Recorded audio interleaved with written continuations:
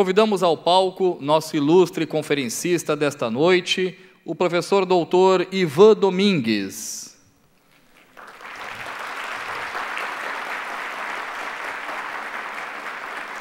E para a mediação desta conferência, convidamos também ao palco o professor doutor Luiz Roden.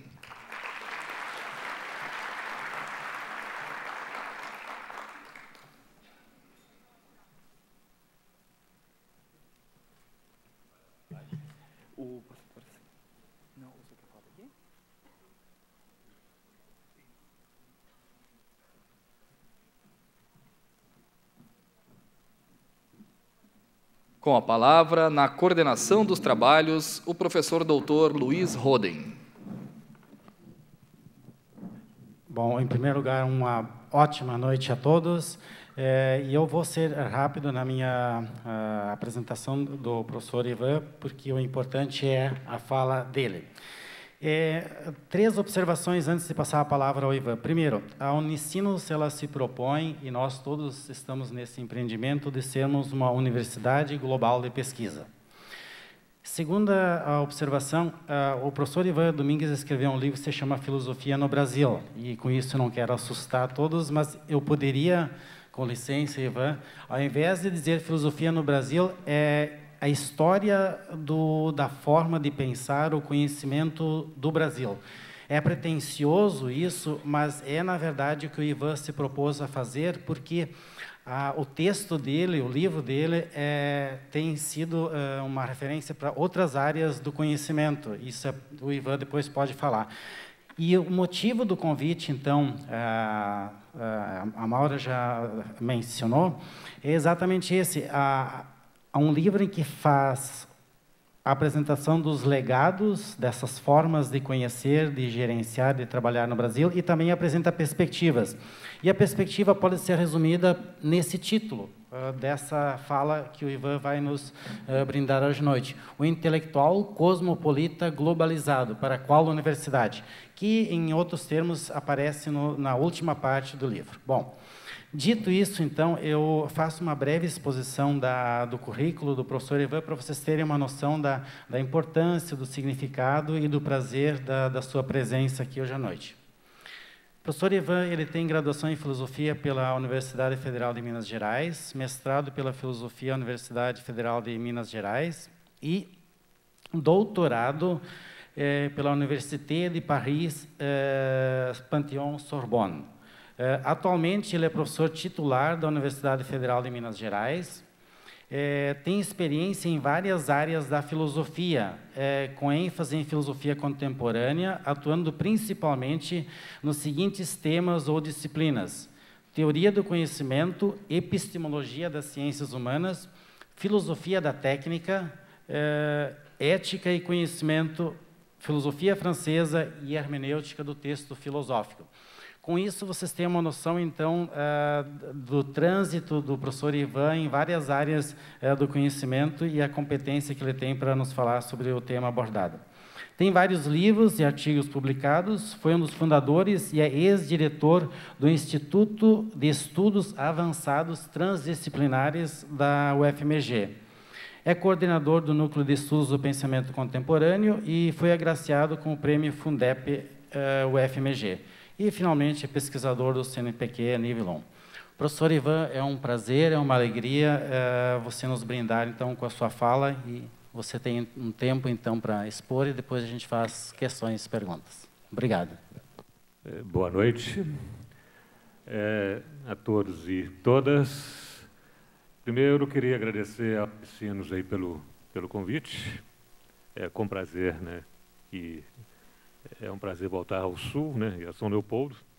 A essas alturas já não sei é, mais né, quantas vezes, mas sempre com a certeza de que valeu a pena, né, tanto pela troca de ideias e o compartilhamento profissional, quanto pela renovação de laços, de coleguismo, de amizade, que desde algumas décadas eu venho mantendo com vários integrantes aí da, dessa universidade.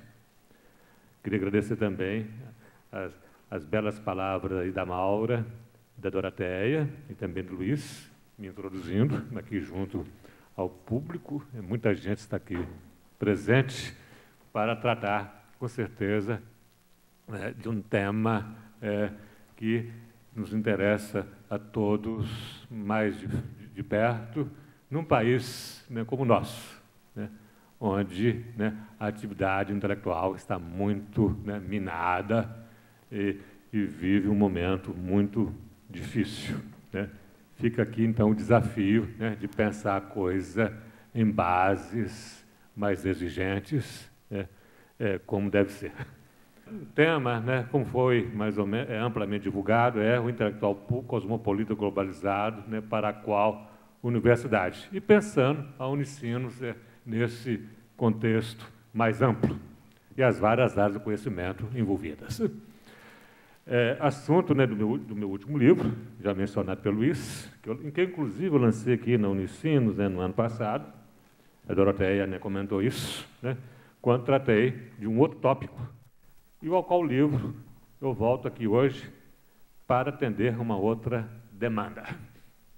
Antes de traçar, então, a, os caracteres dessa figura importante do intelectual cosmopolita globalizado, do qual eu trato né, no fim do livro, no sexto passo, juntamente com o modelo, né, que eu chamo de tipo ideal, né, e suas variantes, precisamente a quinta e última da série de figuras que compõem né, a intelectualidade filosófica brasileira, por vezes chamada também de inteligência, por mim, né, chamada de inteligência nacional, havendo ainda outras referências, eu gostaria de propor que tomássemos como fio condutor da exposição o que eu entendo por inteligência, abarcando a corporação de ofício, de ofício de intelectual, é, no caso, e, e o ethos,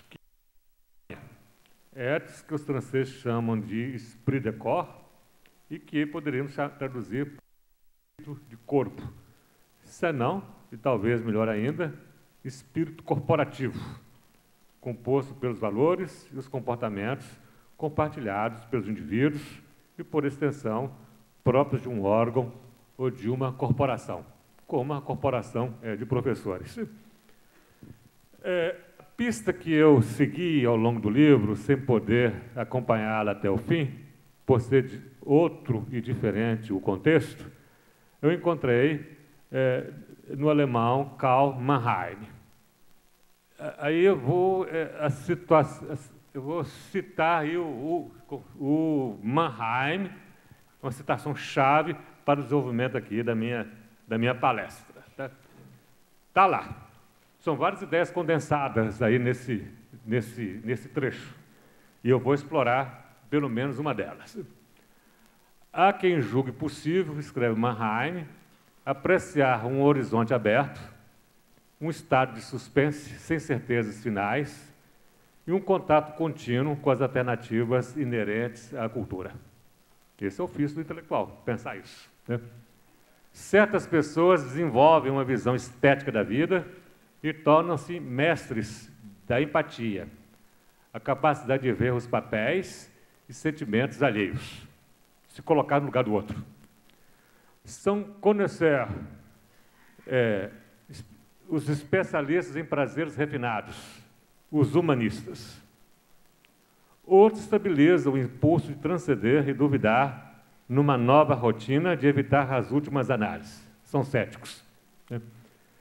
Esses tornam-se perenes irônicos e sarcásticos, sarcásticos, acrobatas do espírito e críticos profissionais, verdadeiros hipercríticos. Né? Heine, Born e os intelectuais oposicionistas da década de 1830 na Alemanha. Né? Eu tenho tudo que eu preciso aqui para desenvolver aqui né, a minha é, palestra. Vocês vão ver.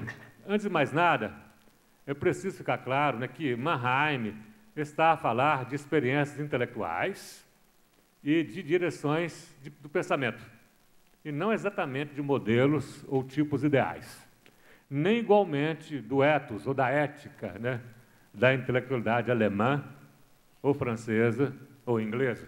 Né? A empatia, por exemplo, de que ele nos fala, e com razão, nos coloca na vizinhança da psicologia moral. Assim como do ressentimento, né, é, de que nos fala Schumpeter como marca do intelectual revolucionário francês, ressentido com a sociedade, inclusive com sua classe social. Né? Daí a revolta. Em especial dos jacobinos, e como, aliás, no caso de Rousseau. Ao tipificar o ethos, precisamos mais do que indivíduos. Ao pensarmos numa inteligência coletiva, ou numa inteligência né, coletiva, muitas vezes alojada em corporações, assim como um, precisamos também de um conjunto né, de notas próprias, adensadas, caracteres, notas próprias adensadas ao longo do, do tempo, assim como socialmente decantadas, é, como o criticismo que acompanha a vida intelectual de todos os tempos, ou ainda o ascetismo, é, o ascetismo secular, e mesmo o virtuosismo de métier, ou de ofício, né, que, defina, que define o especialista disciplinar ou escola. É, propõe então que tomemos a citação de Mannheim como fio da meada, porém, dentro desses limites, para o que em vista da configuração do ethos da atividade intelectual, em sua diversidade, será preciso complementar as frases com alguns esclarecimentos adicionais, inclusive relativos aos contextos em apreço e aos nomes elencados, muitos deles conhecidos. Né? E ainda será necessário precisar os ditos com a ajuda de alguns forçamentos né? ou tour de force analíticos, como diz os franceses, à vista de minhas necessidades de exposição e melhor abrir o caminho que irá nos levar ao intelectual cosmopolita globalizado. Porque Mannheim não estava pensando exatamente né, no, no, intelectual cosmopolita globalizado dos dias de hoje. Ele é do século XIX. Né? Ele pensou muito, mas não pensou tudo. Né? Então, eu tenho que forçar um pouco a coisa forçar a porta para a gente poder entrar. Assim, a primeira frase, né, é, a quem julgue possível, né, a, a primeira frase é, é, de, é, de abertura, a primeira frase fala de abertura de horizontes e da suspensão do juízo acerca das certezas finais. Características que vão junto com o espírito crítico, tendo como é, contraparte, né, o dogmatismo, é, e em que se pode ver a marca do verdadeiro intelectual. Com certeza, não dogmatismo, mas o né, espírito crítico. No início, o letrado, às voltas com a crítica dos, dos textos, né, ao fazer a crítica né, dos textos, a exemplo dos filólogos e dos historiadores, depois estendido tal espírito a crítica da sociedade né, e da própria cultura. Ao abrir caminho à crítica social e mesmo cultural, é, como nos casos do intelectual público, de Nietzsche né, e dos frankfurtianos. Né. Esse, esse ponto é um ponto importante. Está lá na, que está embutido, contido na primeira frase. A segunda frase, é, que começa lá com certas pessoas desenvolvem uma visão estética da vida. A segunda frase, por seu turno, a depender dos contextos e das interpretações, leva, é, é, para falar de países, né, leva à intelectualidade francesa, com seu conhecido esteticismo e bom gosto, ao qual Mannheim acrescenta né, o sentimento de empatia compreendido como a capacidade de alguém se colocar no lugar do outro, abrindo caminho que nos conduz ao intelectual politizado ou o intelectual público republicano, que no meu livro eu mostro que é uma é, via francesa por excelência. Foram os franceses que inventaram né, o intelectual público é, republicano moderno. Né, no fim aí, né, do século XIX, no rastro da Revolução Francesa do final do 18. A terceira frase ressalta com, como outra possibilidade o acréscimo de novas qualidades que irão se adensar e incorporar o ethos de outras vertentes da intelectualidade, em cuja origem mais remota vamos encontrar o intelectual letrado das humanidades e também chamados de humanistas, como, aqui, como vocês escutam aqui bastante é, na Unicinos. Né? Tem um decanário de humanidades aqui. Né? Por um lado, a, a expertise, né? a renúncia aos prazeres da vida é a consagração por inteiro, a vida inteira, né? a um métier, é, uma, é um ofício, a um campo de conhecimento, dando livre curso ao conhecer, né? que está lá na, na, próxima frase do, do Mannheim. Né? Por outro, isso por um lado. Por outro, o descomprometimento, a insolência, né? e a, a, a flânerie em francês, ou a vagabundagem, né?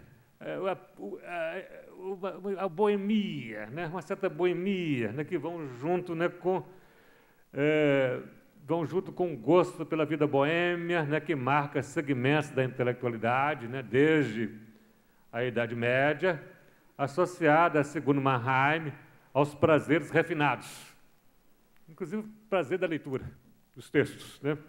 Como no caso dos franceses, esses mestres do refinamento e do hedonismo, além da conversação e, desde logo, prazeres do corpo e também do espírito ou da alma.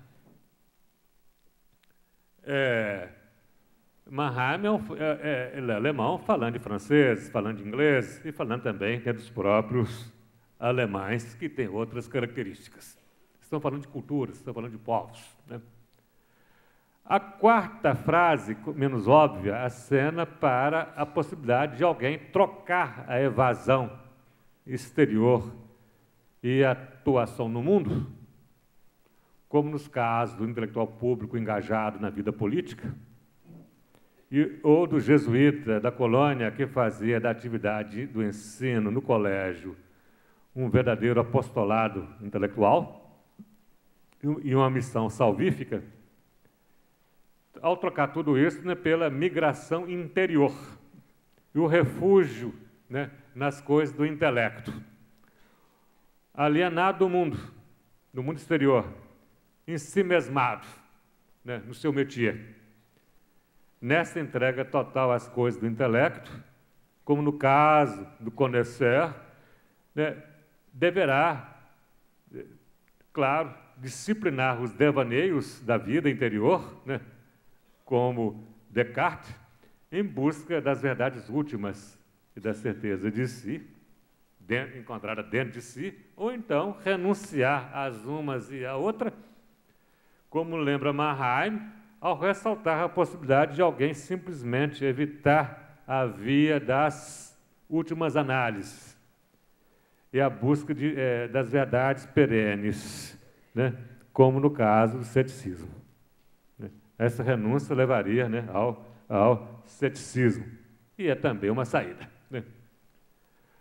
É, a última frase é, outros estabiliza, né? esses tornam-se perenes irônicos. Né? A última frase, de longe a mais contundente, ao introduzir as marcas negativas que acompanham o ofício né, do intelectual, desde os sofistas, deixando ao fundo o niilismo, né, o negativismo, o niilismo, né, que vem junto com o hipercriticismo. Acrescenta né, ao, ao ceticismo recatado, a última frase, ela acrescenta ao ceticismo recatado os ergotistas de que falava Montaigne, ao se referir à, silogística, ou, ou é, é, é, com seus ergos, que em latim, né, e que quer dizer, portanto, então, né, ao, quando o intelectual, se, eh, eh, o intelectual se entrega aos jogos de raciocinação né? artificiais, né? É, bem como né, por outro lado, a busca né, do reconhecimento fácil e do brilho reluzente de salão, né, como pavão, né, brilho de salão, poderíamos acrescentar né, como marcas francesas, às quais Mannheim acrescenta os sofistas alemães, afrancesados ou não, ao falar de acrobatas do espírito e dos críticos profissionais, aos, as, que vivem fazendo contorções de raciocinação. Né? É, é, e, e, esses são os casos, diz ele, né, do poeta Heinrich Heine, Heine, com sua ironia fina, para agrado de Marx, acrescento eu, e, e do crítico, além do poeta Karl Ludwig Born, né, de quem se diz, está lá, é a última frase lá do, do Mannheim, eu estou tentando situar aqui, de quem se diz que ele era né, um ensaísta político e um, e um, satírico brilhante, em rebeldia né, contra o estado de coisas reinante na velha Alemanha, ao propugnar nos anos 30 o movimento da jovem Alemanha, né, e que terminou seus anos de vida em Paris. Cabe então indagar onde se, onde se enquadraria, em princípio, a figura do intelectual cosmopolita globalizado, né, nesse cenário aí traçado né, por Mannheim, somando-se ao enquadramento e ao lugar de fala, aquelas qualidades ou traços de caráter que definem né, o seu ethos, ao abrir uma nova rota para a experiência intelectual e consumar um modelo que será visto como o ápice e o sonho de consumo de todo intelectual, em todos os tempos, não só no Brasil e no mundo inteiro, hoje, porém, ameaçado de extinção, como veremos na sequência. Ao falar do, do intelectual público globalizado, estou identificando esse intelectual público globalizado dos dias de hoje, né, aos urgentes do mundo de hoje, né, primeiro mundo, terceiro mundo, né, Brasil, todo esse conjunto, né, eu estou identificando esse que estou chamando de intelectual público globalizado com a figura do pensador, né, que é capaz de pensar radicalmente os problemas e os desafios do tempo, indo além do tempo. Né. É, Digo sem mais delongas que tal figura eminente não há de ser nem o acrobata do espírito, que se contorce em malabarismos verbais intelectuais, né, como o sofista, nem um especialista disciplinar, isolado do mundo e consagrado ao seu ofício, ao seu métier. Será antes a primeira figura, figurada por Mannheim como o intelectual de horizontes largos, em sintonia com o tempo em que vive e em contato último, como ele diz, com as, com as alternativas inerentes à cultura e, portanto, ao seu tempo. Eu acrescentaria, não tomando-as como algo dado e sacrossanto, mas elaborando-as e protagonizando uma ou várias delas a supor que haverá, haverá mais de um, cada qual atesta nos movimentos de vanguarda, como Sartre, e com independência pessoal de grupos ou partidos. Porque o compromisso do intelectual é com o pensamento, do verdadeiro intelectual é com o pensamento, né? a independência, né? a liberdade. Ou seja, sumariando tudo, trata de tipificar a figura do pensador. Na esteira do livre penseur francês, ou livre pensador, moldado no início da Era Moderna, porque isso já tem uma longa história, né? no início da Era Moderna, a um só tempo na extensão do professor de artes liberais, como era também chamado o homem de lettres do, do, do antigo regime, e ainda o magister em artes né, da Idade Média, e de costas né, para o clérigo medieval, acumulando as funções de mestre-escola. Ou simplesmente poderá ser também né, o, o clerc, que o historiador francês Jacques Legoff vê na origem, quer dizer, o clérigo, que vê na origem das atividades intelectuais e não apenas do intelectual medieval, e que será encontrado no Brasil colônia, ou abrir a rota que nos leva ao, ao intelectual organo da igreja ou jesuíta, né, do Brasil colônia. Este foi o caminho que eu segui no livro ao retraçar a figura do pensador contemporâneo, que além de cosmopolita, como o romano e o renascentista, é internacional e globalizado, vencendo as barreiras das nações e os paroquialismos do eurocentrismo, bem como do germanismo, do francesismo né, e do anglicismo. Sem poder, porque o pensador é desterritorializado. Né? Isso vai junto né, com, é, com ele. Né? Sem poder entrar em detalhes, pois não é tecnicamente o caso, e nem haveria tempo, eu antecipo que a rota que eu segui no livro, ao pensar no Brasil, é, eu começou com Montaigne e um intelectual do antigo regime, de extração aristocrática, em suma, passou pela inteligência iluminista, em suas vertentes enciclopedistas, né, é, bem pensante, e jacobina, radicalizada e revolucionária, que está é, no bojo da Revolução Francesa, né, até chegar à vertente do intelectual público republicano.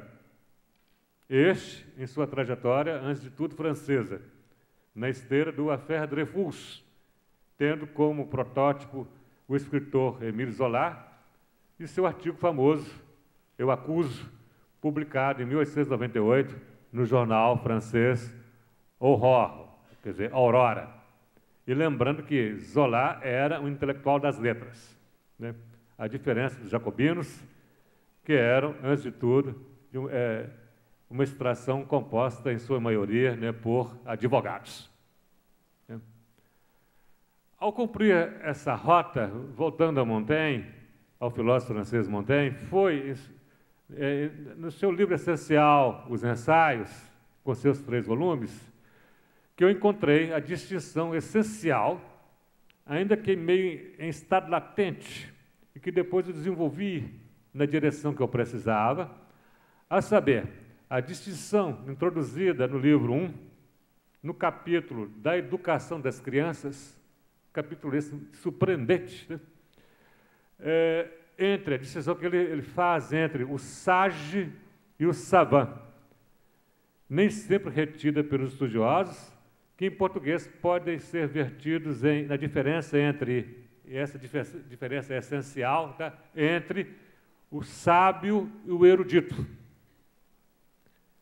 é, a qual se somará uma outra, com a qual as duas figuras estão associadas.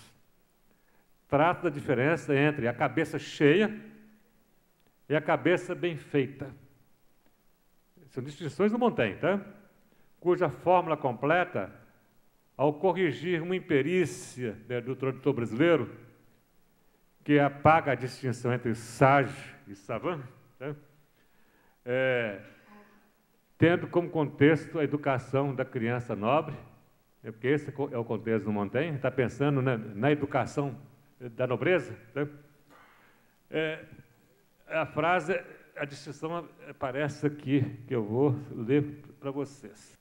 Assim, para uma família nobre que procura as letras, não para o ganho, pois uma finalidade tão abjeta é indigna da graça e do favor das musas. Ele era um aristocrata. Não precisava de vender nada. Ele vivia, ele tinha uma fazenda, vivia no chateau. Tá? E, e, além disso, se volta para os outros e deles depende. Né? Quem paga, né? Nem tanto pelos benefícios externos, como pelos seus próprios e para com eles se enriquecer e adornar-se interiormente. Não se trata de acumular riqueza exterior, né? mas interior. pretendendo obter-se delas um homem inteligente, habile em francês, no sentido de inteligência prática, relativa ao mundo, ao homem do mundo, e identificado posteriormente com o honnête homme, do que, né, antes, antes um homem inteligente, do que um homem erudito. Savant quer dizer erudito. Ele está defendendo, então, um homem inteligente e não erudito.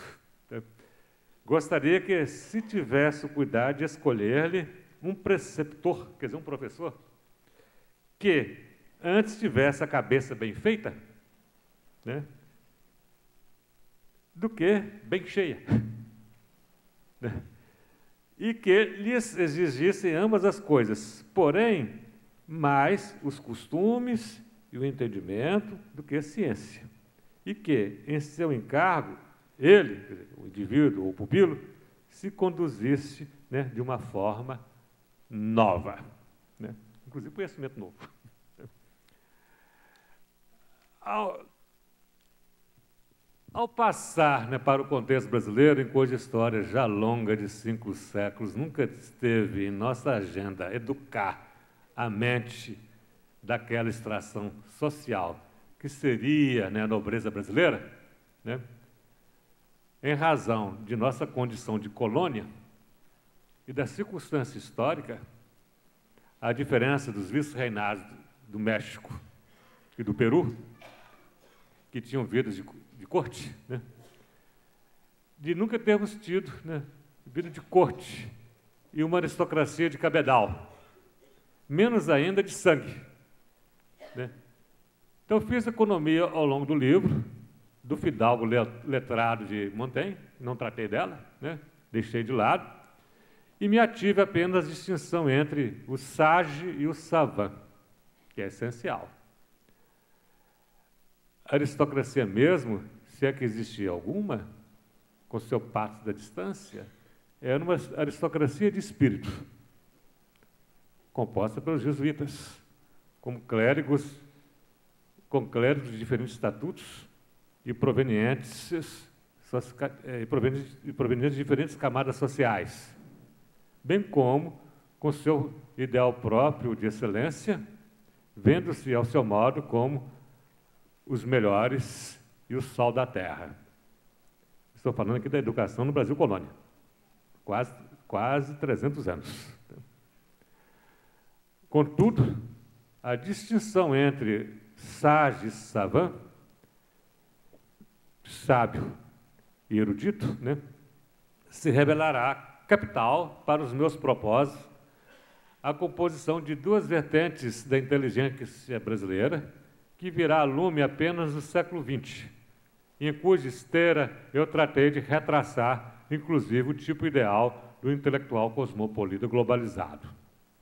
Para tanto, com o intuito de bem demarcar os espaços para não confundir as coisas e melhor distinguir as figuras intelectuais que estão em jogo, eu proponho distinguir e separar a demonstração em duas etapas.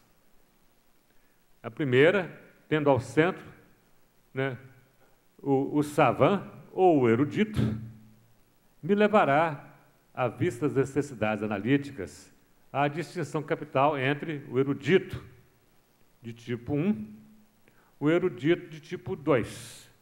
Eu vou distinguir duas figuras de erudito aqui, a qual Montaigne deixou na penumbra, e a qual se revelará de grande serventia para pensar o destino da intelectualidade moderna, brasileira ou não. A segunda, centrada no sage, em português sábio, que não tem nada a ver com o sabido, que é o pretenso sábio e que nos deixa nas vizinhanças do sofista. Então, sobre a primeira figura, então eu vou analisar o savant e o sage, né, o sábio né, e o erudito, ou especialista, né, e vou caminhar com vocês né, para figurar aí o intelectual cosmopolita globalizado. Então, sobre a primeira figura, né, o savant, é, que, que, em inglês nos leva ao, ao scholar, que quer dizer erudito, ao pensar o seu surgimento no Brasil, no contexto da fundação da USP, e mais tarde ao grupo das federais de primeira hora, é, como a UFRJ, a UFMG e a URGS aqui no Sul, né, fui levado a introduzir uma distinção analítica que Montaigne não fez, mas que eu julguei necessário e oportuno fazer ao acompanhar e reter a trajetória moderna da história da erudição e, por extensão, do escola, né? a saber, como dito, a distinção entre o erudito tipo 1 e o erudito tipo 2, algo obnubilada no ensaio famoso de Montaigne, que se limita a distinguir a cabeça cheia de conhecimentos né? e a cabeça bem feita, a qual me veio à mente ao me ocupar de duas etapas recentes da história da Universidade Brasileira, que pôs fim à era do autodidata acadêmico e do diletantismo intelectual, colocando na linha de frente o profissional, ou o expert, ou o especialista. Numa vertente, ao se seguir o percurso, ao seguir o percurso do Normalian da missão francesa, ao fundar a, a FEFELESTE da USP, Faculdade de Filosofia, Ciências e Letras né, da USP, é, dos anos 30 em diante, ao cabo de 50 anos, quando me deparei com dois tipos de missionários, prevalecentes numa primeira e numa segunda etapa, ponto ao qual voltarei daqui a pouco. Noutra vertente, perto do fim da missão francesa na FEFELESTE da USP, em São Paulo, em meu esforço de restituir o papel da CAPES no conjunto do país, né, e do Sistema Nacional de Pós-Graduação, o SNPG, na constituição de nosso especialista disciplinar nacional. E não apenas paulista, né, mas nacional, com um horizonte bem mais vasto do que o Estado de São Paulo. E tendo como escopo, como escopo repito, virtualmente, todo o país. Isso nos últimos 50 anos. Né? Ora, ao considerar a trajetória da erudição e do escola moderno, logo eu notei, no tocante à missão francesa e ao savan nacional, ao, ao erudito nacional, né, a retomar o termo de Montaigne, referindo-se ao erudito, bem como ao conhecer de que fala Mannheim, eh, a formação, né, a mise-en-scène de dois eruditos, tomado como critério tomando como critério a distinção entre, um, o conhecimento que cresce ou se acumula verticalmente, como no caso do especialista disciplinar, e que eu renomei de erudito de tipo 1, né? Aquele que sabe muito de um tema específico, que gera o paradoxo, sabe tudo de nada. Né? E o, o conhecimento que cresce e se adensa horizontalmente, abarcando né, mais áreas, né, campos, como o polímata antigo, e que eu classifiquei de erudito de tipo 2, que tem a cabeça, digamos assim, é enciclopedista. Né. Concluindo esse tópico, no livro eu mostro, nas sessões finais do quinto passo, por um lado, que a primeira etapa da missão francesa foi comandada, no caso da filosofia, por eruditos de tipo 2, ou escola de horizontes largos, como Etienne Borne e Jean Moguet, na linha de frente, os franceses. Né? E ao passo que a segunda fase será recomendada por eruditos de tipo 1, ou especialista disciplinar, como Marcel Guerroux e Gilles Gaston Granger né, no centro das atenções, havendo ainda vários outros, pois essa fase foi a mais longa, a mais longeva. Né? Por outro lado, no tocante à CAPES e ao papel do SNPG, né, o Sistema Nacional de Pós-Graduação, que foi decisivo aqui né, na história recente do país, diferentemente da missão francesa, eu mostro que prevaleceu o tempo todo a formação de, do especialista disciplinar, o erudito de tipo 1. Né? Ao cabo dos últimos 50 anos, ou um pouco menos, somado ao papel do CNPq, que tem, tem que somar o CNPq, né, na pesquisa, e o sistema PQ, a famosa Bolsa de Produtividade da Pesquisa, né, PQ, o resultado foi a fusão do Homo qualis e do Homo latis. Todo mundo aqui conhece. Né? Que também poderia ser chamado, com, Bourdieu, de Homo acadêmicos, né? cujo montante hoje soma uma legião. Inclui todos nós aqui presentes, inclusive vocês, futuros né? Homo acadêmicos, formados aqui né? na Unicinos. Né? e que, ao pensar ao intelectual o político globalizado, eu estava conversando com o Luiz, né, com outros aqui antes da conferência, nós vamos ter que somar os, os dias de hoje, né, o homo do zap, né, o do WhatsApp, o homo zapiers, que está é, dominando aqui né, a, é, a, cena né, da Universidade Brasileira e do mundo inteiro no dia de hoje, que vai ser a matéria-prima a partir da qual o intelectual cosmopolita globalizado vai ter que ser fabricado. Certo, Luiz? Então, o Homo tem o Homo latis, o Homo qualis né, e o Homo sapiens, né, que nós acabamos de criar aqui. É, que é o Homo acadêmicos, né, cujo montante hoje né, soma uma legião, eu estava dizendo, inclui todos nós aqui é, presentes, inaugurando em todos os campos do conhecimento a era do produtivismo né? e a do taylorismo acadêmico, do qual não poderei tratar na sequência de minha fala, mas poderei fazê-lo no momento das discussões é, com vocês, é, com o público aqui presente. Né? Porque é o maior dos males que estamos enfrentando nos dias de hoje. Né? Ao pensar o intelectual cosmopolita globalizado, que é o sonho de consumo, nós temos que pensar no problemão. Né? Aquilo que veta, né? que vai, vai, vai introduzir a barreira, né? a muralha, e exatamente impedir o seu surgimento, né? que é o, o Homo acadêmicos, né? fusão aí do Homo qualis e do Homo latis, aqui no Brasil.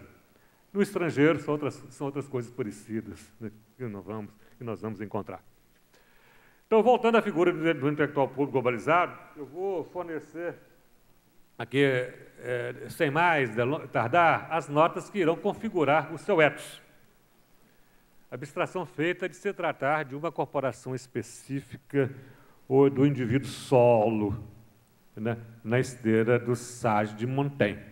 Porque o, o intelectual público ou pensador, é, o intelectual cosmopolita globalizado ou pensador, pode sair ou não de uma corporação. Né? Tá? Eu, eu, eu, eu, não dependo, ele não depende da corporação. Né? É, três são as notas ou seus traços analíticos, no sentido de Max Weber, que deverão ser somados aos dois outros que definem o conjunto da, da intelectualidade, que eu já mencionei aqui. Né? O ascetismo e o criticismo. Né? Todo intelectual é uma seta e também né, tem que ter, por definição, claro, né, de saída, né, espírito crítico. Né? Além do mais, todo intelectual tem uma alma narcísica e paranoica, mas isso é uma outra conversa. Né? Deixa para depois. A saber, né? Então vamos lá. As três notas que vão definir o modelo né, ou o tipo ideal, né? o intelectual cosmopolita globalizado. É claro que tem que, começar pelo, pelo cosmopolita. Né? O cosmopolitismo é o primeiro traço. Ou o universalismo de estrita observância, e visar da esteira da filosofia cosmopolita de Kant, com seu protótipo de fazer-se mundo, de se realizar, né? bem como do apolis de Luciano, do historiador grego Luciano. Isso já data de muito tempo, né? levando ao, ao, desterro e ao estranhamento, né? com seu próprio país, inclusive. Assim, ao tensionar esses dois componentes ou constantes que definem a atividade intelectual, o pensador cosmopolita terá por âmbito de ação virtualmente todo o planeta. Acarretando a desterritorialização do pensamento e a modelagem de uma perspectiva não ao modo da política, restrita à história nacional do Estado-nação, mas internacional e globalizada, com agenda, como agenda do pensamento, né, o pensamento universal, né, e consoante a atopia essencial da filosofia. Podemos falar de filosofia brasileira, filosofia francesa, alemã, né, ao se referir às corporações, mas ao, ao referir ao pensamento, né, o que define a filosofia é a, a atopia. Não tem lugar. É um sem lugar. Né? É, essa, então, esse primeira, primeiro traço, que é essencial. Estou falando de tipo ideal. Né? O segundo é o individualismo bem entendido, tá? ou pessoalismo. É, porque ele tem que pensar por conta própria. Né? É, como contraparte ao, ao, impe, ao impessoalismo do intelectual público e do comunalismo do ethos do cientista como de que fala Merton, tá? Diferentemente, o pensador globalizado, a, além de desterrado estranho a seu próprio país, é um solitário e vive a angústia da solidão pessoal como angústia da criação intelectual. Polarizada pela influência do entorno, onde tudo já está começado, e a experiência radical do pensamento inaugural, e sem começo. Especificamente, outra acepção da palavra inaugural, né, que, é, que, é, que aqui é diferente. Especificamente, trata-se de pensar sem as raízes ou contra elas, sem amarras, né? ao se descobrir a si mesmo na origem das obras do pensamento, dando aso aos sensos de dever responsabilidade frente à agenda do intelecto, seus feitos e criações, seu campo de atuação e suas consequências, numa escala planetária e abarcando virtualmente né, toda a humanidade. Isso é um tipo ideal, né? Estou falando de, de um modelo. A realidade é mais ingrata. E o inconformismo, o terceiro traço ou a inquietude frente à realidade circundante e à vida comum como contraparte do desterro e do estranhamento e sua objetivação levando à evasão no mundo das ideias, que é o mundo intelectual, em qualquer lugar do globo. Por um lado, na extensão do criticismo que define todo intelectual, como vimos, todo pensador é um hipercrítico e um demolidor, alguém que está de mal com o mundo e é do contra, questionando as certezas cristalizadas e desestabilizando virtualmente tudo. Por outro, em paralelo ao utopismo do intelectual público e sua agenda política, reforma da humanidade, revolução política, ilha dos bem-aventurados, a utopia, né? Como estabelecido no quinto passo do livro, trata-se tanto de dar vazão ao inconformismo quanto de ampliar a agenda política do, do intelectual público rumo a, eu volto, à atopia da filosofia, abrindo as vias para o cosmopolitismo e a globalização, havendo para isso mais de um caminho e mais de uma variante. Então, esses são os três, seriam os três traços de caráter, né, ou qualidades que vão definir, então, né, o intelectual cosmopolita globalizado. Vou parando por aqui, o tempo né, está indo embora e eu tenho que concluir a palestra. Então, três são as considerações finais que eu gostaria de fazer. Uma me levando de volta a Montaigne, é a distinção entre o sage e o savant, junto com a necessidade de um plus analítico para que o pensador extradisciplinar possa emergir em toda a sua pureza. Dois, outra conduzindo ao questionamento da perspectiva que se abre à instauração e concreção histórica dessa figura intelectual entre nós. Ao sofrer em filosofia, em todas as áreas do conhecimento, a concorrência né, do especialista disciplinar, ou escola de tipo 1, em meio a um, a um acadêmico avassalador, que considera ultrapassado o escola de tipo 2, né, de horizontes largos, que tem cabeça enciclopedista. Né.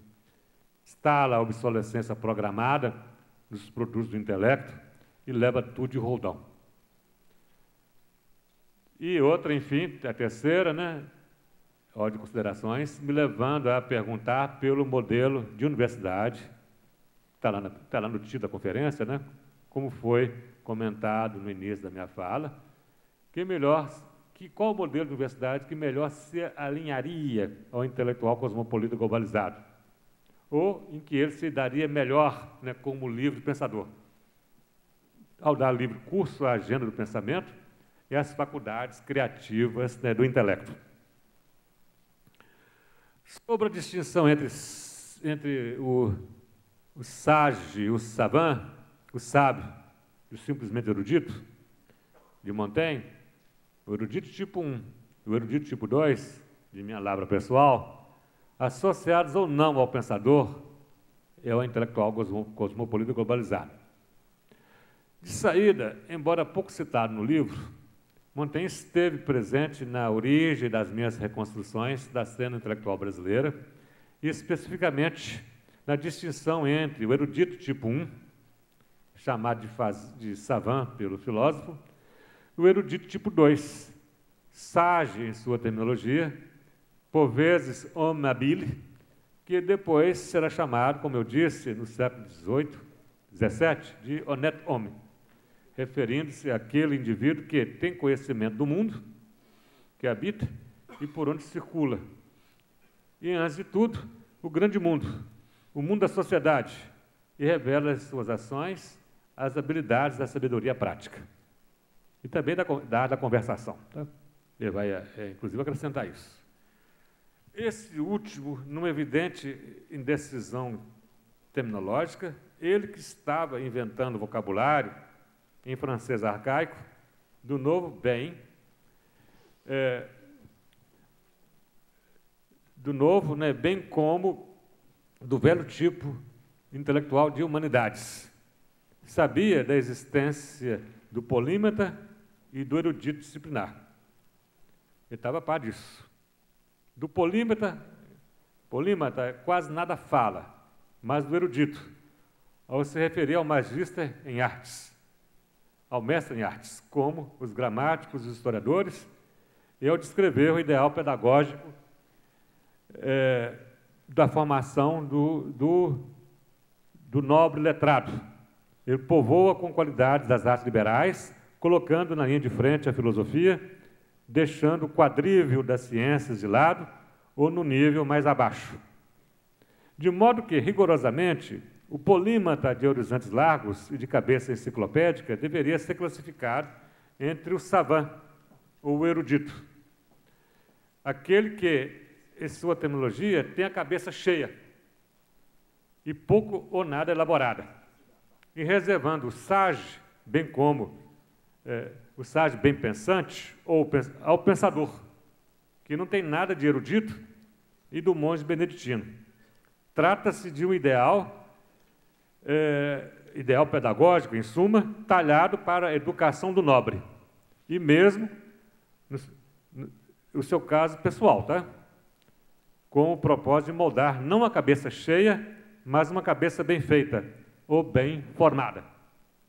E de resto, não sendo ele mesmo, a, ele mantém ele mesmo, né, a cristalização ou o exemplo do ideal, ele que se via, ele, ele era meio desconfiado de si mesmo, tá? ele que se via a si mesmo como uma cabeça generalista, meio generalista, ainda assim cheio de lacunas e deficiências, como no caso das ciências, né?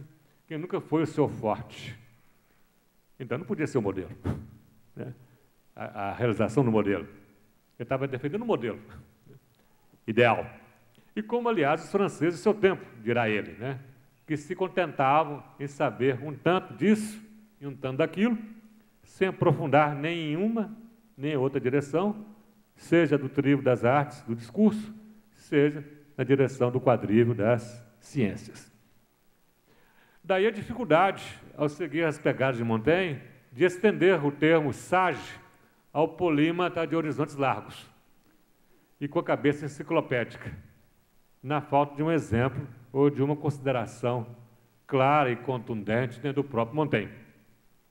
Certamente, ele sabia né, da existência, é, havia Leão, Leão Alberti, por exemplo, visto como eminente polímata, o arquiteto Alberti, né, visto como é, é, renascentista, né, visto como eminente polímata renascentista, com grande envergadura intelectual, cujo arco de conhecimento se estendia da arquitetura à filosofia, passando pela geometria e a história. Né? Alberto, Alberto era um monstro. O contraponto eram, de Alberto, né, eram os especialistas do Museu de Alexandria. E mais, e mais ainda, Heráclito, que, segundo consta, já utilizaram o termo é, polímata tá? com uma conotação negativa ao se referir aos filósofos, historiadores e poetas de seu tempo, como Homero, ao se contentarem com uma, um discurso superficial e generalista, sem conhecer em profundidade a natureza das coisas. E nesse sentido, eles, segundo Heráclito, eles eram não amigos, mas adversários do Logos, né? ou do pensamento. Então, com essas ideias em mente, indo além de Montaigne, ao mesmo tempo tomando a sério a distinção que ele fez entre o sage e o savant, ou entre o sábio e o erudito, eu cuidei no meu livro, Filosofia no Brasil, de distinguir dois tipos de escola, com a consequente polarização do especialista e do polímata, e descolar o sage tanto do erudito de tipo 1 e do erudito de tipo 2. Aí, estamos diante de outra coisa, de outra figura, né? o sage, o sábio, mesmo que reconhecendo um linhame entre o sábio e o intelectual de horizontes largos. Que daí, daí que ele vai sair. Né? Só que tem né, algumas particularidades que eu vou chamar a atenção aqui na sequência. Não podendo ficar com os dois, e não sendo exatamente um enciclopedista de cabeça cheia, ao tipificar o intelectual cosmopolita globalizado, né, com o livro Pensador de Montaigne é, em mente, aquele que é livre e independente e pensa sem amarras, como diz Paulo Arantes, em outro contexto, eu fui então levado a buscar a companhia de pode surpreender, mas vocês vão entender daqui a pouco, né? a, compa a companhia de Lao né? que com rara felicidade distingue a sabedoria e o conhecimento. E é sensacional. Né? A fórmula com a qual me deparei, no caso, é, ao, ao, acaso, tá? meio ao acaso, é, me e que faz lembrar Montaigne é a seguinte. É, não sei se eu pus aqui na, no slide. Não, não pus não. É, a frase é a seguinte, então preste atenção. Ela é muito intuitiva. Né? Veja bem, para alcançar, citando Lau, para alcançar o conhecimento, adicione coisas todos os dias como nós fazemos na academia. Né? Para alcançar o conhecimento, adicione coisas todos os dias. Para alcançar a sabedoria, elimine coisas todos os dias. ok? Então, essa é a proposta. Aí, a partir daí, nós temos a cabeça bem feita, não apenas a cabeça cheia. Né? No sentido vertical ou no sentido né? horizontal o polímata né, e o especialista.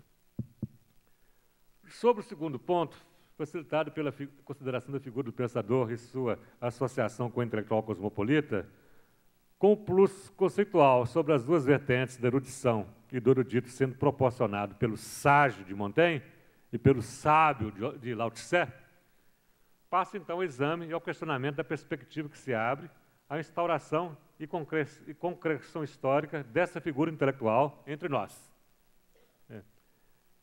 E, especificamente, ao sofrer em filosofia, em, todos, em todas as áreas do conhecimento, a concorrência do especialista disciplinar, ou escola de tipo 1, em meio a um interiorismo acadêmico abassalador que considera ultrapassado ou fecha né, o escola de tipo 2.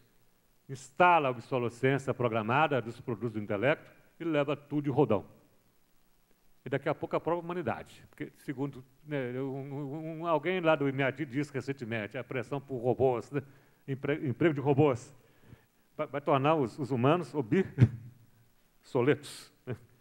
É, daí né, é, o, o, cuidado que a gente tem que ter né, com essas coisas. Né? Isso não é trivial. Está aí no centro das preocupações dos dias de hoje. A primeira, né, me leva né, a outras faces ou vertentes da minha atividade profissional, e intelectual, né, em atitude de resistência e não de denegação. Por entender que a atualização do conhecimento e, por conseguinte, da academia é um facto, hoje total, e o destino do nosso tempo. Eu venho explorando, em atitude de resistência, né, um conjunto de experiências de natureza trans e interdisciplinar, que em diferentes programas está, é, vertentes de programas, está procurando vencer as barreiras disciplinares e abrir uma nova perspectiva para o conhecimento. Não exatamente na direção de um, do polímata antigo, aquele indivíduo que tudo, é, que tudo conhecia e sabia fazer tudo, como Leão Alberti. Nem do especialista disciplinar trancado no laboratório ou em seu gabinete, mas na direção de uma inteligência coletiva, como obra, ou, ou inteligência coletiva, como obra de um time ou de um grupo, e se ocupando de temas transversais e não simplesmente horizontais, como o escolo tipo 2, ou verticais, como o escolo tipo 1.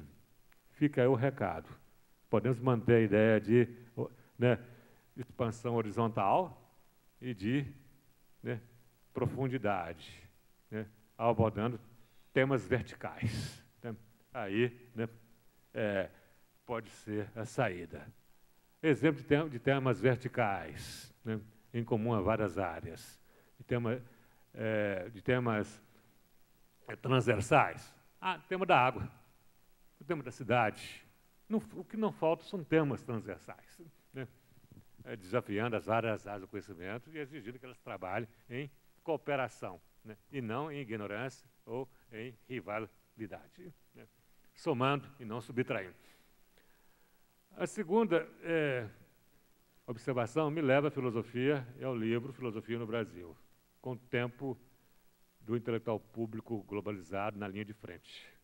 Conforme já comentado, ao me ocupar dessa figura intelectual, a diferença das outras, como a do intelectual público engajado na política, que tinha outro laço histórico entre nós, em várias áreas do conhecimento, e chegou à filosofia bem mais tarde, a partir dos anos 60, com o Padre Vaz lá em Minas Gerais, Janote Marilena em São Paulo, fornecendo os melhores exemplos do tipo o mesmo não se pode dizer da figura do intelectual cosmopolita globalizado.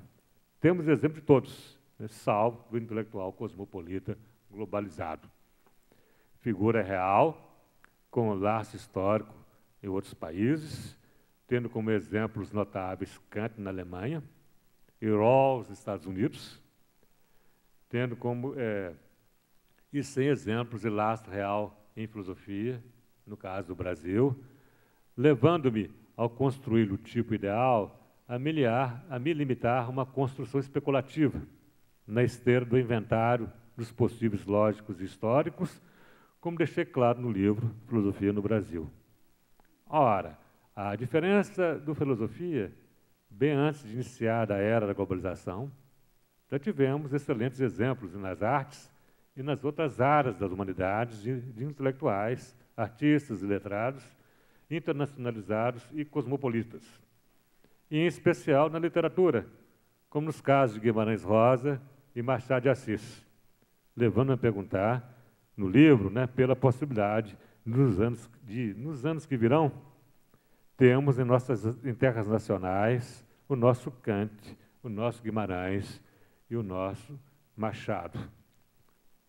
É a resposta que eu dei, depois de reconhecer, já, já termos cumprido a agenda de nossa formação como nação, como povo, vencendo gaps e atrasos seculares, estando hoje às voltas com a agenda da pós-formação, em vários segmentos da cultura e da ciência, em sintonia e inseridos na agenda internacional de um mundo mais e mais globalizado, né?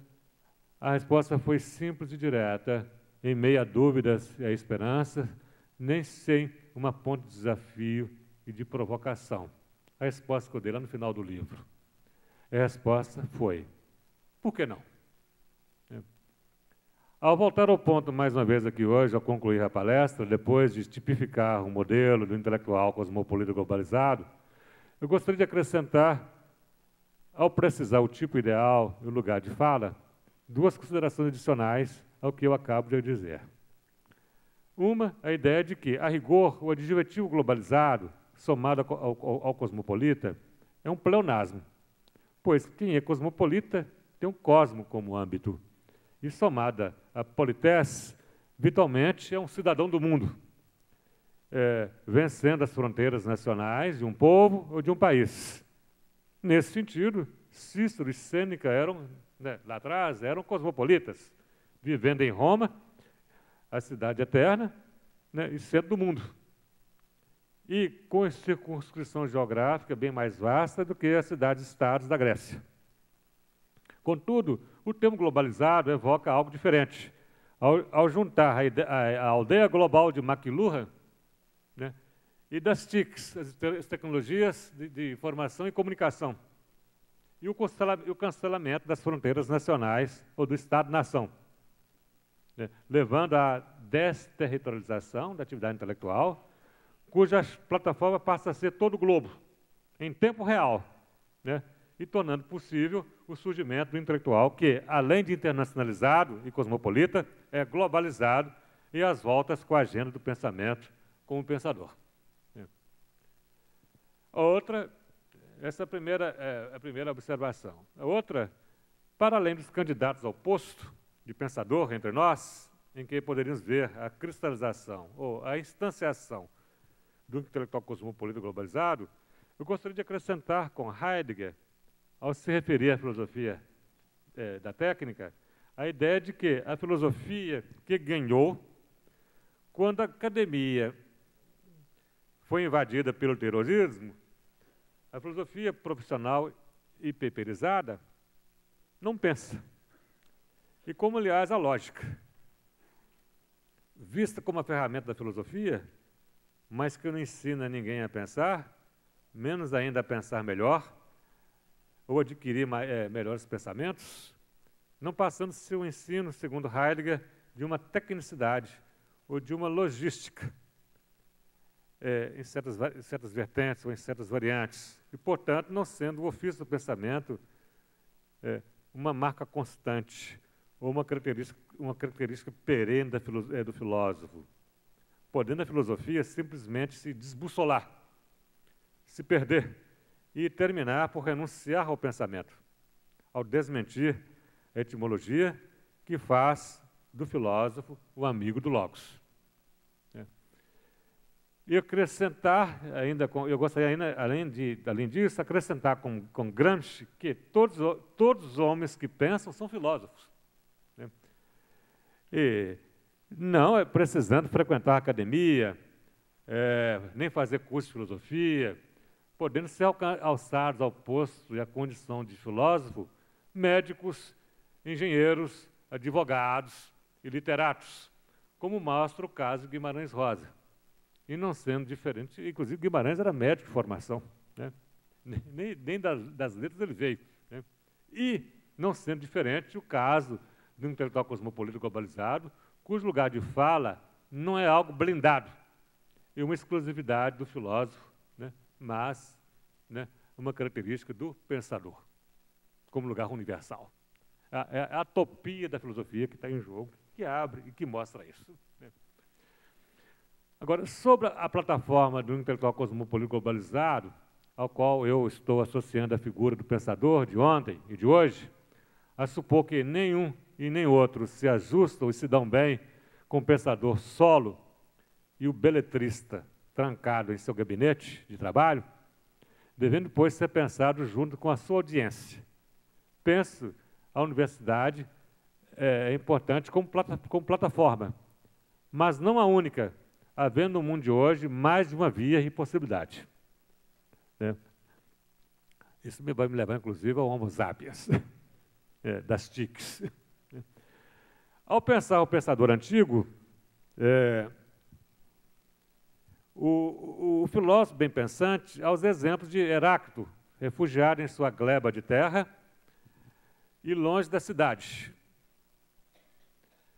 Ao passo que Sócrates, Platão e Aristóteles são pensadores da polis e tiveram seus nomes definitivamente associados a Atenas. Platão tendo como plataforma de pensamento a academia, Aristóteles o liceu e, Sócrates a ágora. Em contrapartida, na Idade Média, a plataforma do pensamento não será a igreja e a universidade como braço da igreja, como nos casos de Agostinho e Tomás de Aquino. No mundo moderno, além das universidades, os intelectuais terão à mão outros meios e plataformas, aumentando mais ainda o centro de convívio e de difusão da República das Letras. Desde as academias e os círculos, como o Círculo de, Mont de na França, né, que era uma espécie de academia de ciência e letras avant la lettre, né, somando-se os salões, como o de, o de Madame Stael, todos eles com vocação local e circunscrição em países. Porém, com alguns desses entes apresentando grande potencial de mundialização, como o Círculo de Mersenne, a Academia de Ciências de Paris e a Royal Society de Londres. É. Contudo, em regra, a plataforma do pensamento era e continua sendo a universidade, como mostra o exemplo de Kant, que além de filósofo de métier e vivendo qual um monge em sua Königsberg, de onde nunca saiu, era o pensador universal em pessoa, e com audiência universal, mundial. A audiência que, em vez de diminuir, aumentou né, com seu desaparecimento. E figurando o solitário de Königsberg, como, como Kant era conhecido, né, o relógio de Königsberg, na lista dos, ele sendo incluído né, é, na lista dos dez filósofos mundiais considerados canônicos. E isso em todos os lugares do globo. Né. Kant é unanimidade. Mais do que Hegel. No outro extremo, vamos encontrar Schopenhauer, que era rico, vivia de rendas e desprezava os filósofos profissionais, que ensinavam por dinheiro, como Hegel, Fichte e Schelling, que eram pobres e tinham estudado em seminários. Não obstante, o cavaleiro solitário, como era conhecido Schopenhauer, nunca abriu mão da universidade como centro de propagação de suas ideias, tendo sido professor da Universidade de Berlim por algum tempo, em meio aos altos e baixos, aos altos e baixos do sucesso e fracasso. Morrendo de inveja de Hegel e não tendo as mesmas reputação, né, audiência de Hegel e não, não, e não devendo e não devendo o reconhecimento algo tardio de sua obra pela Academia de Ciências de Berlim ser associado à sua passagem pela universidade daquela cidade. É outra, é outra coisa que está em jogo. Para terminar, no período contemporâneo, há a notória exceção de Sartre, que nunca foi um intelectual, um filósofo da academia, e nunca ensinou em qualquer universidade. E, no entanto, sua obra e seu pensamento, por ação da mídia e suas atividades de escritor, em especial de peças de teatro, logo tiveram ressonância nacional e mundial, não apenas como intelectual público e ativista político, mas também como intelectual cosmopolita, globalizado, que ele sempre foi. Este é, pois, o cenário completo do campo de, de atuação do pensador de ontem e de hoje, aparecendo a universidade como uma importante plataforma do pensamento, mas não a única, como foi ressaltado, acarretando a necessidade de nos cercarmos de cautela ao procurarmos responder à pergunta pelo modelo de universidade, que se alinharia, que se alinharia ao intelectual cosmopolita globalizado, ou em que ele se daria melhor como livre pensador, ao, dar, ao dar livre curso à agenda do pensamento e às faculdades criativas do intelecto. Sobre este ponto, ao finalizar as minhas considerações, lembro que os Estados Unidos, que sem sombra de dúvidas, mais do que qualquer outro país do Ocidente, são o principal agente da globalização, havendo seus pensadores globalizados e suas universidades globalizadas, e não tendo, porém, nenhuma CAPES como agência de fomento e instância normativa, para avaliar o seu sistema de ensino superior, caracterizado pela, pela diversidade de modelos, pela grande escala das coisas e, dos, e, e os altos e os, e os baixos do sistema, os americanos criaram a Carnegie Classification, com cinco grandes categorias de ensino superior, de Carnegie. Né? É, instituições de doutorado, a primeira, o primeiro grupo, universidades, faculdades e mestrado, o segundo grupo, faculdade de bacharelado, o terceiro, instituições especializadas em uma, uma, em uma única área, faculdades isoladas, né? medicina, engenharia, administração, e cinco, faculdades e universidades tribais. Ora, acerca dessa lista famosa, que é a mais completa, e bem mais do que a, Ivy League, né, com seus oito universidades privadas localizadas no nordeste do país, né, todas com grande prestígio, como Cornell, Columbia, Harvard e Princeton, devendo a elas ser somadas as da Califórnia e outras tantas, se perguntássemos, frente à Carnegie Classification, onde se localizariam as grandes plataformas de globalização da cultura da ciência norte-americana, a resposta poderia ser certamente as instituições de doutorado, que compõem o primeiro grupo da lista. Certamente não todas. As da Ivy League também estariam incluídas, mas não todas as universidades americanas com doutorado, cujo ranking variará de universidade para universidade e de estado para estado. Foi neste quadro que eu mostrei em um, em um estudo publicado há anos que os norte-americanos criaram né, o conceito de universidade de excelência de classe mundial, entre as quais coletaríamos aquelas que seriam as top de linha e globalizadas, não só as americanas. A fonte que eu usei foi o livro organizado por, eu estou concluindo, gente, né, por é, Outback e Balan, intitulado né, Um Clássico Mundial no Mundo Inteiro, transformando universidades de pesquisa na Ásia e na América Latina, publicado aí pela Johns Hopkins né, em 2007. Esse livro que me deu aí né, os elementos que eu precisava. Lá, inclusive, tem um estudo do John Steiner sobre o Brasil. Muito bem feito, por sinal. Né? A minha preocupação na época em que eu publiquei o estudo era situar o Brasil no contexto das discussões. Ao, aproveitar um capítulo né, do John Steiner, que eu já mencionei, que falava de 39 universidades, entre públicas e privadas, classificadas como universidade de doutorado, e, portanto, com potencial de, ser, de ter o status de universidade de excelência de classe mundial, que seria né, a plataforma por excelência do intelectual cosmopolita é, globalizado. Ao depurar esses números aqui no Brasil, ele chega, né, é, é, é um percentual bem mais baixo. Tá? Dentro desses, desses 39, com certeza serão menos de 10, aquelas que teriam nenhum potencial efetivo. Acabo depois de falar de 5, tá? É, um pouco depois, ela tentou, tentou selecionar cinco, só que ninguém gostou é, dessa história. Né? Nós seríamos a bala comum. Esse é o Brasil.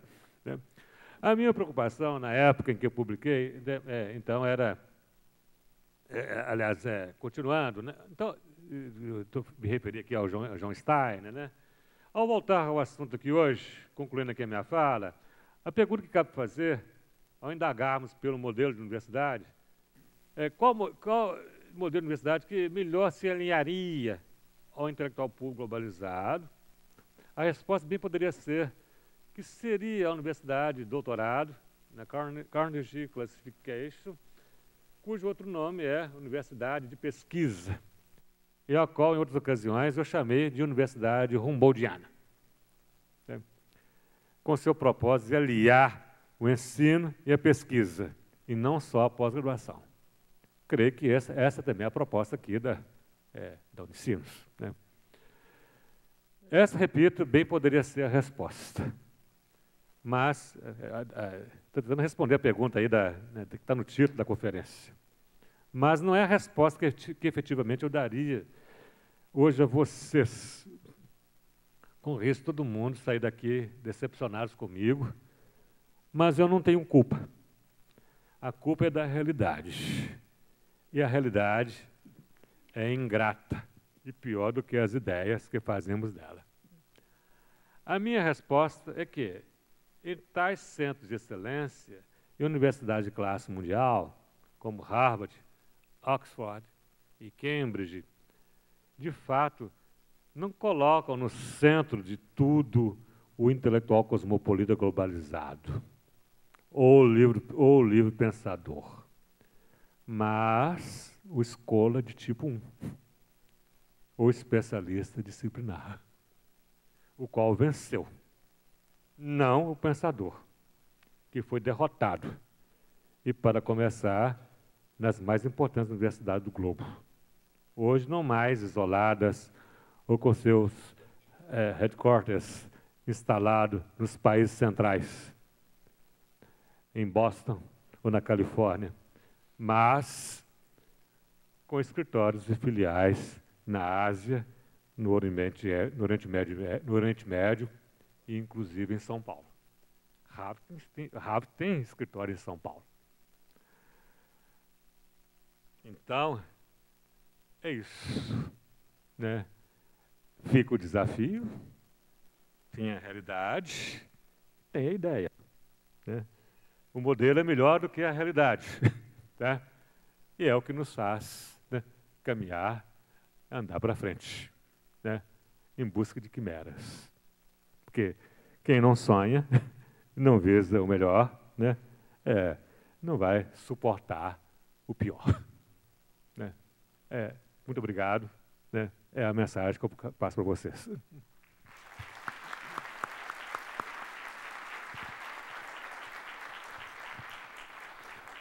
É, professor Ivan, obrigado pela ela é uma bela, uma densa, uma complexa e eu diria, mas é extremamente apropriada a reflexão para nós. É, nós vivemos e trabalhamos na universidade e a gente sente a, a, a força desse modelo uh, de, de, escola profissional que acabou uh, se impondo na universidade e produziu o que a gente tem visto, né? O Homo Qualis, o Homo Lattes, e a nossa, talvez o nosso grande desafio hoje é nesse contexto, com essa, com essa, vamos dizer, pressão, é, como você estava colocando aqui, entre o produtivismo, né, e o taylorismo acadêmico, quer dizer, o que nós pensarmos. Eu uh, uh, de, uh, pensarmos diante dessa realidade e diante de uma nova realidade. quando nós rimos antes do Homo sapiens, ah, na verdade, foi uma discussão que veio ontem na reunião dos coordenadores. Quer dizer, é uma nova, uma nova dificuldade que vem aí para nós uh, pensarmos e articularmos uh, como uh, intelectual ou pensador cosmopolita glo globalizado. E a tua posição, Ivan, parece uma posição assim de meio cética ao final e meio de desânimo. Mas vamos pensar assim, o Machado de Assis, um Guimarães Rosa no Brasil foram esses pensadores que, de, eh, numa conjuntura extremamente difícil, foram capazes de instaurar uma forma de pensar que ultrapassou essas dificuldades que a gente está, tá, tá, tá, uh, você elencou aqui, que é essa vitória do erudito sobre o sábio, do conhecimento sobre a sabedoria, uh, o, o cabeça cheia sobre o pensador. É, bem feita, exatamente. Então, assim, uh, eu passo a palavra agora ao público, mas eu, eu queria que tu uh, nos dissesse, assim, no, no, em linguagem de dia de semana, como diz o Guimarães Rosa, o que, que nós podemos fazer nesse contexto para pensar, fortificar essa ideia de um pensador ou de uma forma de pensar globalizada? É, você me coloca numa situação aqui é, difícil, né? É, a filosofia não profetiza, né? a filosofia analisa, né? Estou aqui tentando analisar, tentando entender o que está acontecendo aqui ao nosso redor, né? E nos desafia todo mundo. Porque esse é um problema não é só da filosofia, é um problema é de todos nós. Num país em que estamos destruindo né, a figura do professor. Estava conversando hoje com a, com a Maura, né, é, com o Marcelo, o reitor. Né, eu, o, professor tá, o professor aqui no Brasil não tem aula. Né, a universidade perdeu a alma e o professor não tem aula. Né, é, os alunos que estão chegando às universidades, no ensino superior, né, estão já, ao passar pela experiência negativa, frustrante, desastrosa né, da escola pública, né, até o ensino médio, né, inclusive não apenas desacatando, desrespeitando o professor, a professora, mas batendo, né, e revólver em punho, né, ameaçando né, é, quem ensina, né, quer dizer, nós destruímos né, a figura do professor. É, isso é um problema grave. Né. É, em certos bolsões, certas é, universidades ainda de, aqui, federais, algumas particulares, né, algumas as estaduais de São Paulo, né, nós temos ainda né, é, alguns bolsões que conseguem ainda preservar né, a, um, um, certo status, né, uma certa é, vida digna né, e uma certa aura. Mas quando a aura vai embora e vendemos a alma, estamos, estamos é, perdidos. E a comparação é, é muito, é muito ruim para nós. Né? Chegamos tarde e o país, o país é doido, o país confuso, né? se dá mal em, com, mega, com, com escalas grandes. É um país feito para 10%. Né? Só funciona para 10%. O resto está fora. Não é isso? Então, quando a gente compara a nossa situação com outros países, né, é, não só do hemisfério norte, aqui do Ocidente, né, os países asiáticos, né, Coreia, China, Japão, Índia, Índia é confusa.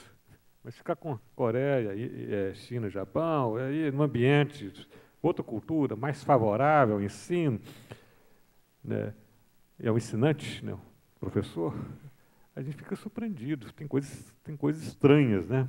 É, que, nos, e que, por exemplo, no Japão, né, quando é, o imperador passa, todo mundo faz reverência em respeito ao, ao imperador. Não sou monarquista, você sabe disso. Estou falando aqui, estou analisando né, é, ritos, culturas, né, tentando entender e compreender, tirar as lições. Então, por onde, ele, por onde ele passa, todo mundo faz reverência. Poderia ser o presidente, poderia ser o governador. Né? Faz a reverência, salvo os professores. Porque é o imperador que tem que reverenciar os, os professores. Né? Isso mostra, marca muito bem né, a, a, a diferença né, é, entre aí culturas diferentes, povos diferentes, valores diferentes, né, e nós né, estamos dando mal e parecemos mal é, no filme. Né. É, o famoso complexo de vira-latas, que nos acompanha. Né. É o diretor do Cielo, é, pensando aí é, é, na elite aí das, do ensino superior, que publica em revistas de extrato A, né, aqui no Brasil. E, e a, o A-Level né, da, é, das americanas, em língua inglesa, né, interna ditas internacionalizadas, que são instituições de consumo todo mundo, né, Nature, Science e outras, poucas, são poucas. Né. o diretor do Cielo ficou impressionado né, quando viu que é, é, observações de, de é, escolas do primeiro mundo, a nosso respeito, nós brasileiros, dizendo o seguinte, que brasileiro não cita brasileiro. Quando o brasileiro publica né, em língua inglesa, que é a língua franca hoje, né, publica em língua inglesa, que é sonho, é que todo mundo quer, né, ele coloca como parceiro né, americanos né, e alguns europeus, mas não cita brasileiro. Então, brasileiro não cita brasileiro. Né? E tudo isso muito estranho. Né? E ele, aí ele falou, isso é um tiro no pé. Isso, diretor do Cielo, isso é um tiro no pé. É, aí eu acrescentei, né, ao escutar, ao ler, né, eu li isso. É, mais do que um tiro no pé. Né, isso é um verdadeiro auto-extermínio. Né, se você não cita, apagou. Não existe. Né? Tá? Os nossos parceiros aqui dentro. Então, acho que tem que mudar profundamente né, é, tudo isso. Não falta vida, não falta vida inteligente aqui. Tá? Mas a nossa autoestima né, não é boa. Não estamos no nosso melhor momento. Né? Mas é na beira do abismo né, que as coisas saem. Né? Aí, ao menos, instinto de sobrevivência. Né? Nós damos, mal damos muito mal em, em larga escala. Né? É um país, somos habituados, é um país que funciona para 10%. Como explicar tudo isso? Onde está uma raiz do mal? Não saímos do ancião regime. Estamos, estamos no antigo regime até hoje. Tá? E é, quem diagnosticou isso muito bem é alguém aqui do Sul. Né? O Fauro. Tá? O, nome de, o, o mal está em que nós nunca vencemos o estado patrimonial. Somos patrimonialistas até hoje. Somos ibéricos, né? luz até hoje. Portugal já saiu, nós não. Né? É um país, então, que funciona para 10%. Né? Classe média pequena, minguada, né? cresceu um pouco. Né? Tem um gargalo enorme aí do, do ensino médio, mais de 50% é barrado, são, são barrados os estudantes de ensino médio. Né? A escala da universidade, da universidade é pequena, um pouco mais de 10%, porque tem, tem muita coisa inchada. Né? Fábrica de diplomas. Né? Não é por aí que as coisas vão sair. Tá? Né? O que funciona mesmo né? é uma escala pequena, né? muito baixa, e que está sendo destruída. Eu não quero fazer aqui, é, não sou profeta da catástrofe, dizendo, a gente não faz profecia. Né? Estamos analisando, tentando entender. Fica o desafio, e o desafio é mega. Tá? O desafio é vencer, é vencer, junto com tudo isso, né, o mal secular da escravidão que fez, nosso, que fez no nosso país. Né? O mal do patrimonialismo. Esse é o nome. Junto com o patrimonialismo vem corporativismos, vem o direito, vem né, as benesses, vem os privilégios. O país se deu bem nisso. E a sociedade se deu mal. Né? Isso, isso, esse, é meu ver, né, é o ponto. O intelectual cosmópolito globalizado é que vai pensar isso. Vai pensar o Brasil, não isolado, né, é, em si mesmado, né, paroquial, vai pensar o Brasil inserido né, no contexto né, é, do globo. O Brasil já, já, já, está inserido no globo. Né. Está inserido. Tá, faz parte, está tá dentro. Né. Tem um, temos o local e temos o global. Guimarães, Tolstói lá na Rússia, né? e é, Machado no final do 19 entenderam isso. Conseguiram colocar o, o, o local no universal. Porque, univers, porque é difícil fazer isso? Não, porque o universal inclui o local. né? As coisas estão ligadas. Hegelianamente falando, né? as coisas estão conectadas. conectadas. Tem, aí eu tenho né, a fórmula lógica. Né? Falta, falta a realidade efetiva. Aí é política. não é mais lógica. A lógica não adianta, não resolve isso. É nem fazer análise de proposição. Isso é política, é agenda política. Né? Esse é o ponto. Bom, é, agora a palavra fica aberta ao público. Quem quiser fazer alguma pergunta, tem um microfone ali na frente. Álvaro. Ivan, desculpa, minha voz está ruim. Mas eu ia te perguntar sobre a CAPES, se tu dirias que ela, assim como ela cumpriu uma função indutora importantíssima, Foi importante. Se ela, se ela continua atualmente cumprindo, ou se ela está, vamos dizer, muito no produtivismo e, e, os nossos mestrandos, doutorandos, todos obrigados a fazer, é, produzir artigos, coisa assim. Mas eu acho que tem um assunto mais importante que esse, é, pelo tom que tu deste no final.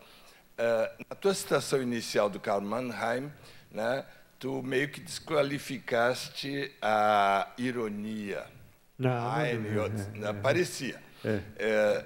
eu, quis dizer o, eu queria dizer o seguinte: numa situação como nós estamos, com tarefas gigantescas, muito acima da nossa capacidade, depois de termos tido décadas de pensamento crítico e aparente sucesso na política, etc. E tal, Agora, no caos que nós estamos, no desencanto que nós nos encontramos, uhum. o perigo do conformismo é muito grande. Uhum. Tá? Quer dizer, quem, é um salve-se quem puder, então, já que não tem solução, vamos aderir, uhum. vamos fazer o que os outros fazem. Então, eu acho que aí mesmo, numa situação como essa, o reforço à subjetividade se torna essencial. E eu conheço três atitudes, para simplificar, que, que, vamos dizer assim, que ficam penduradas em si mesmas, na subjetividade. A ironia, do tipo socrático, uhum. o humor, do tipo inglês, ou a fé.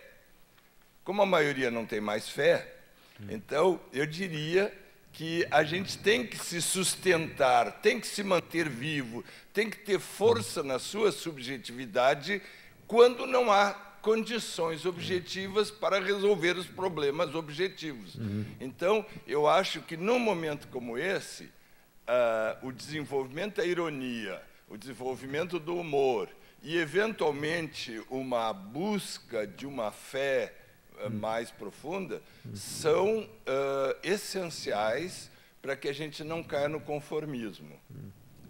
então, por exemplo, um Heine né, volta a ser um, um autor importante, né? porque é, uma vez eu estava com o pró-reitor da URGS numa mesa, então quando eu falei de ironia e humor, o pró-reitor diz assim, são palavras perigosas. Né? Então, como se a gente, dentro de uma instituição, ironizar o reitor, ironizar a diretora, coisa assim, isso é subversivo, não se faz isso, a gente vai para a rua. Né? Mas uh, eu acho que para aguentar em fases tão difíceis, tem que haver muito disso, tá? É minha opinião. Não, não sei quem não, eu concordo com você. A ironia introduz a, introduz a, a distância requerida, né? Protege. Tá?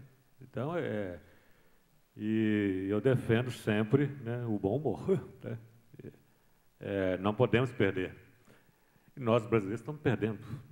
As coisas estão polarizadas, as coisas estão crispadas, as coisas estão difíceis. Né? Era preciso fazer o embate aqui, é preciso. Eu não vejo isso com maus olhos é, absolutos, não. Tá?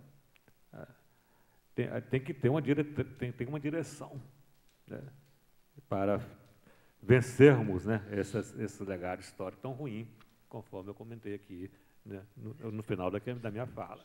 Né? O, o patrimonialismo. Né? Que está acabando com a gente. Né? E, então, temos que rir disso, né? nesse, nesse sentido. Né? Dos privilégios, né?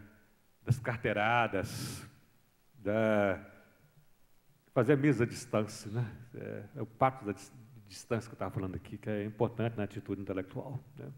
É, se distanciar, né? estranhar e seguir adiante. Então, que estamos criando essa sociedade de. É, os privilégios, é, os privilégios continuam. Uma vez eu tive um voo cancelado ao vir aqui para o sul, lá em Campinas, no aeroporto de Viracopos. tinha uma, tinha uma fila gigantesca. Né? A, a, Azul cancelou o voo e criou um problemão para, para os cancelados. Tinha que enfrentar uma fila enorme. Né? Aí eu estava lá. Aí eu perguntei para um, um agente lá da Azul, né, é, do staff, é, que eu tinha que, que, tinha que embarcar. Né? Eu não podia perder o voo seguinte. Aí perguntou assim: Você tem azul safira? Eu falei: Não, eu só tenho classe econômica. Não, porque a fila azul safira tá, não tem ninguém lá, não, está pequena. Então, o Brasil é isso, está isso, né? É, é a vipização, é a, a carteirada, né? É, é, não dá. Não dá.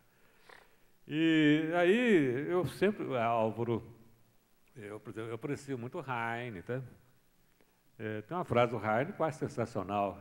É, por, quando eu falei aqui que o Marx apreciava muito o Heine, não só o Marx, né? É, o, o, o estava meio brigado com o Heine, não sei porquê, mas o Heine é muito bom. E é, é uma frase dele do Heine que eu gosto muito, né? os, os kantianos não gostam. É, em Kant nós temos uma tragédia e uma comédia. A tragédia, a morte de Deus naquilo da razão pura.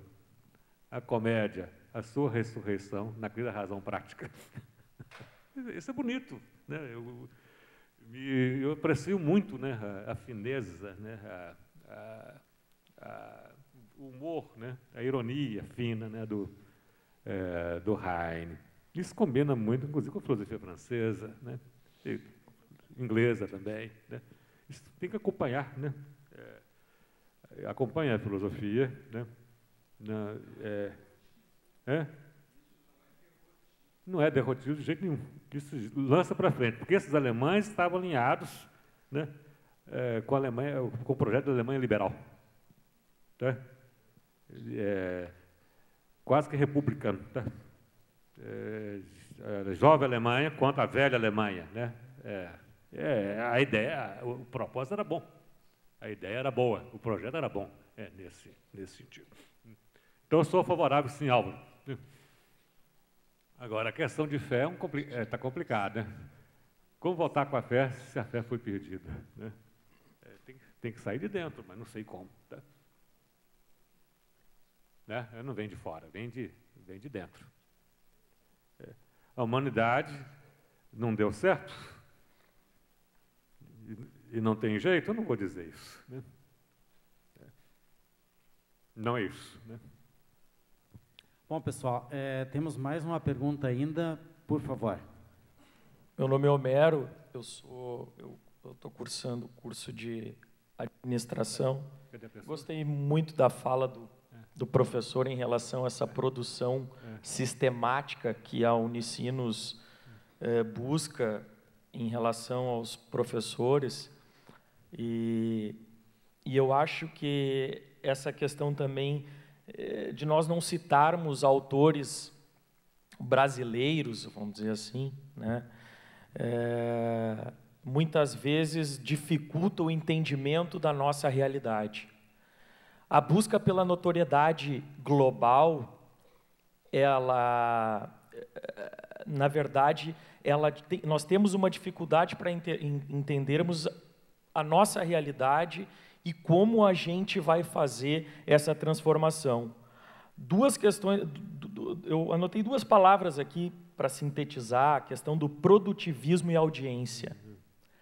Para quem se produz, e qual a produtividade dessa produção intelectual dentro das universidades?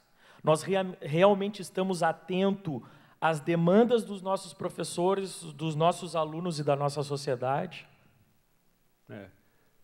é tem uma tremenda distorção aí é, que acompanha né, o produtivismo. É, eu, eu, eu, a gente tem que entender o seguinte: é natural intelectual é querer mostrar aquilo que ele, ele fez, aquilo que ele, que ele produziu. Né? É, como produto de pensamento, um artigo, um livro, né? um, um ensaio, isso é normal. O que não é, o que não é normal né? é isso que nós estamos chamando aqui de produtivismo, né? ou é, Taylorismo acadêmico. Né? É, o tempo acelerado e a universidade né, enlouquecida. Não só aqui, em todo o globo. Né? E o paradoxo é, é todo mundo, né, claro, né, nesse ambiente né, tremendamente é, produtivista e enlouquecido, né, o essencial é pôr aqui no Brasil, eu vou dizer aqui de maneira jocosa, né, todo mundo quer pôr uma linha a mais no lápis. E não interessa se tem leitores. tá? O que você quer é pôr uma linha a mais no Lattes. Se você vai fazer o ranqueamento aí, é, de impacto, de leitor e tudo, né? Isso, isso, não, ele não faz isso porque vai ficar esquisito. Né? A gente evita fazer essa conta. Essa conta não aparece. Aparece o número de artigos que você pôs lá no Lattes, que você né, computou, contabilizou. Né? Não vai aparecer né, quantos leitores tem. Pode ser igual, é, igual estava é igual os cursos de Schopenhauer lá, lá em Berlim, né? É, os cursos de Hegel estavam cheios de gente, lotados. O de Schopenhauer tinha meia dúzia, né? tinha lá a tia dele, né? os amigos. Quer dizer, é, é, então, num ambiente enlouquecido, né, como que é o ambiente que estamos vivendo, né, então a audiência conta pouco. Né? É, não interessa se tem leitor, não interessa se tem né, é, brasileiro escrevendo com você para você citar. Né? É, aquilo que o diretor do Cielo né, comentou, né? É, do tiro no pé. Brasileiro não cita brasileiro. Né? E o intelectual brasileiro né, escreve para ninguém, né, porque não tem, é, que ninguém lê, ninguém lê brasileiro, nem aqui dentro, nem muito menos fora. Né. Então, é, é, esse é o paradoxo. Né. Você tem aí é,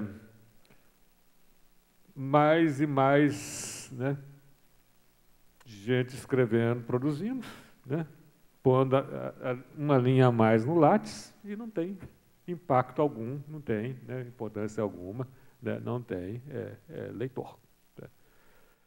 Autor sem livro, autor sem paper, autor sem artigo, autor sem leitor, sem público. Isso é um paradoxo. Né? Bom, Ivan, é, mais uma vez, muitíssimo obrigado. Eu diria assim, a fala do Ivan foi é, sobre o pensamento do Brasil foi legados, perspectivas e agora terminou com uma série de provocações. Mas acho que isso que é o importante, o desdobramento das provocações e a gente continuar pensando nessa perspectiva cosmopolita eh, globalizada.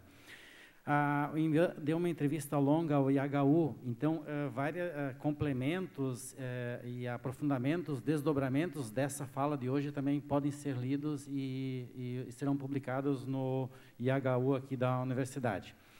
Eu gostaria de agradecer, vai ser amanhã, né? Eu gostaria de agradecer mais uma vez aos, aos moicanos, todos que permanecemos aqui até o final, não são os últimos, são vários, aos estudantes, aos colegas professores, eh, e, obviamente, especialmente ao, ao Ivan, por esse, por esse esforço de, de contribuir na reflexão, eu diria, não só da universidade, mas do nosso país.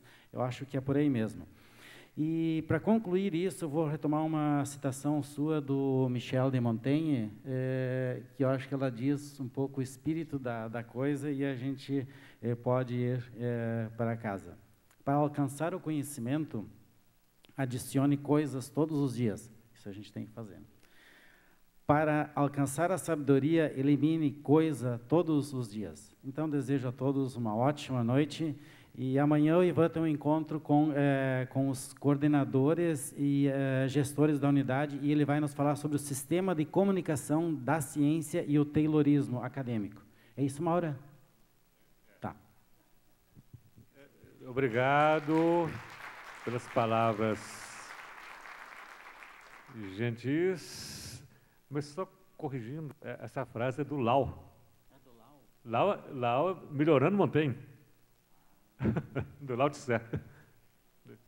E colocou a coisa mais no claro. Então, tá.